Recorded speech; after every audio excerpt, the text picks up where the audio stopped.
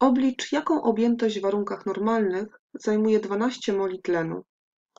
Warunki normalne są to warunki przy temperaturze 0 stopnia Celsjusza, czyli 273 kelwiny oraz ciśnie, przy ciśnieniu 1013 hektopaskali.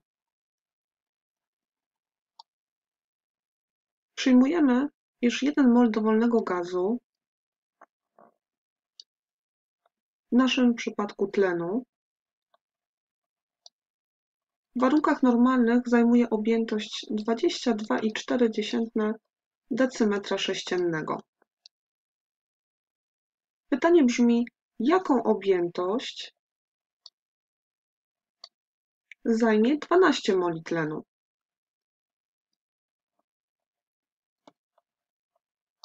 Pamiętamy, że mole podpisujemy pod molami, decymetry sześcienne pod decymetrami sześciennymi. I z naszej proporcji musimy obliczyć x. Mnożymy na krzyż. 1 mol razy x to jest to samo co 12 moli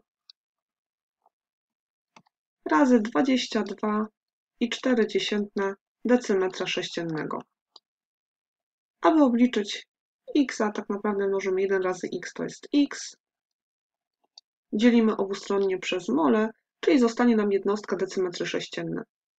Pomnóżmy więc 12 razy 22,4, co nam daje 268,8 decymetra sześciennego.